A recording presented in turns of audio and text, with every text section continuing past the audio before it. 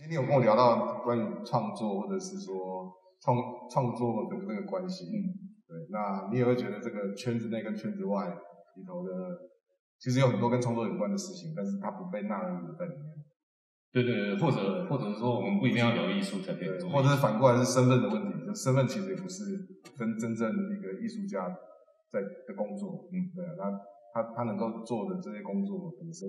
它才具有意义，所以你可能在很多嗯不同人身上或不同的行业上面都看得到一些新的或者是具有不同意义的东西跑出来，嗯，对，那那个可能跟创作都很接近，或者是基本上还就是创作的本质。嗯，那所以你提提的这个题目，我自己也在想说，其实其实我常爱作品里面的这种某种比较像缺乏，或者是嗯不太对匮乏，或者是不要那么物质的，或者不要那么用同一个角度去去进入这个这个工作这个艺术的的这些过程，嗯，对，所以。当我的工作里头的一些不一样的过程，其实都也都是希望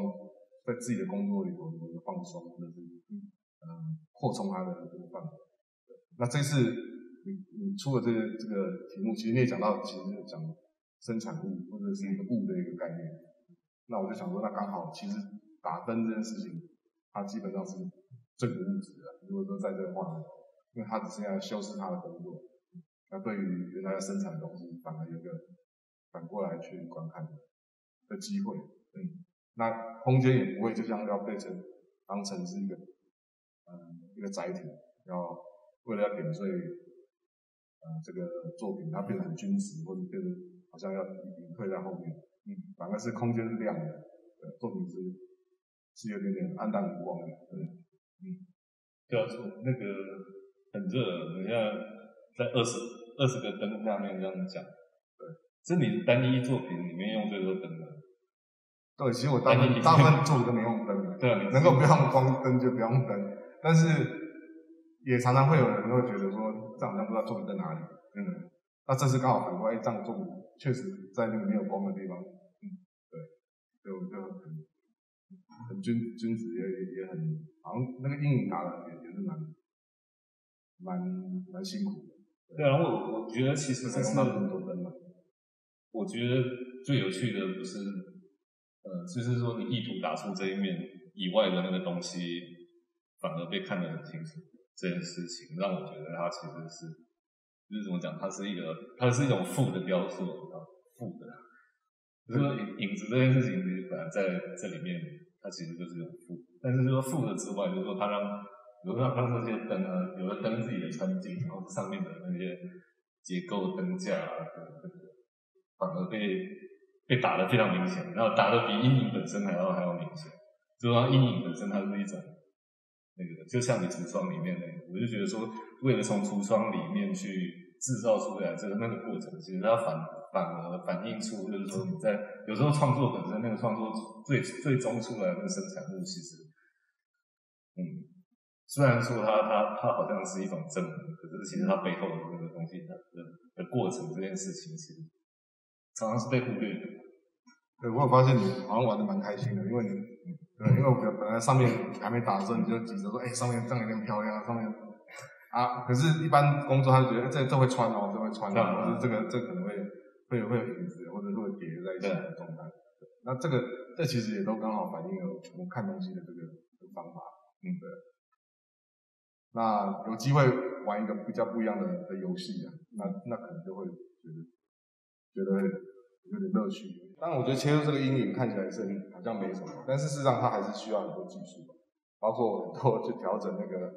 呃每颗灯之间的的出现的不一样的的一个锐利度，或者是怎么样搭它才会出现一个比较好的。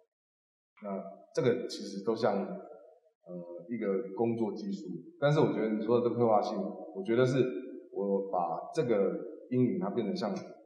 均值到一个像。有点像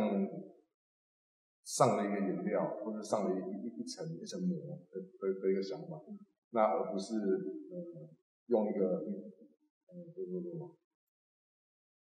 一个炫技啊，不是不是一个一个太有太有特特殊性的的一个造型，嗯，或者是比如说，因为我们常常就讲到就是剪影，或者是嗯，你说那个土地反转，对，就是他他是要在里面玩一个逻辑，或者是在辩论上，嗯，双重性啊，三重性，嗯，对，所以我还是希望他他的深刻性是来自于他跟我们平常看东西的方式，那那能够真的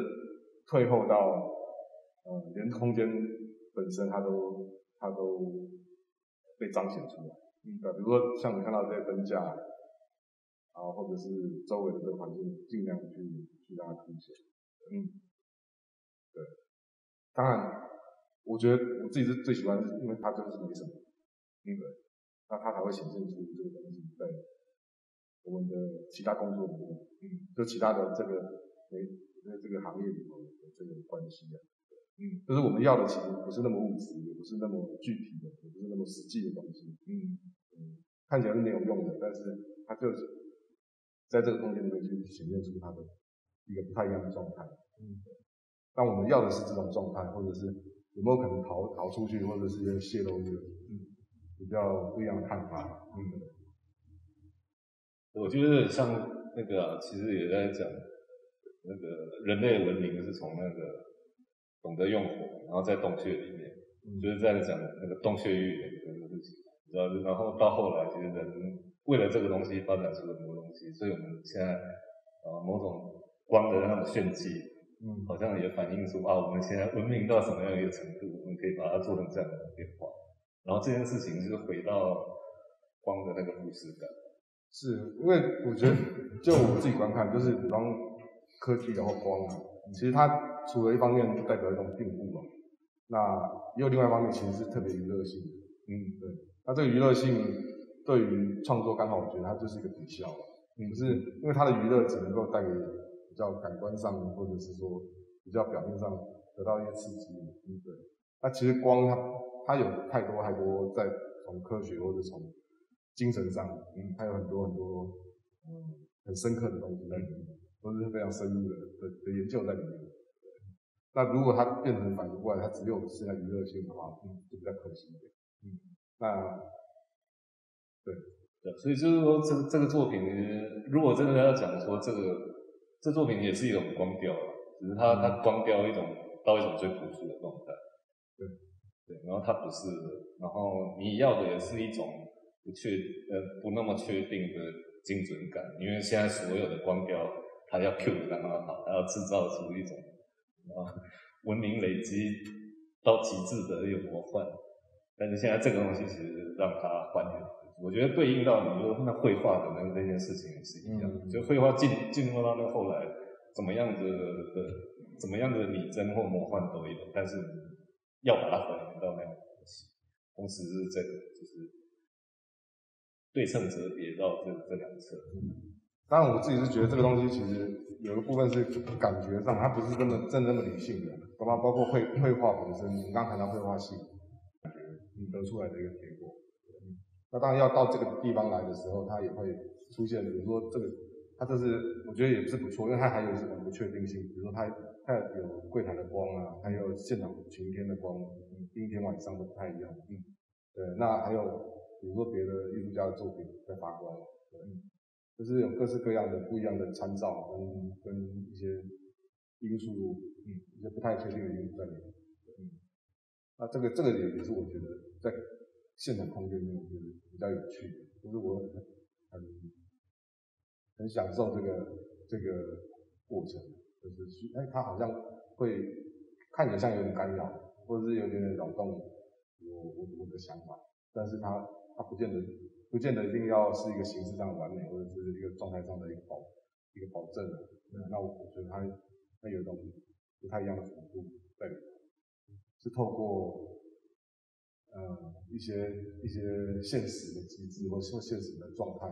所出现的一些痕迹。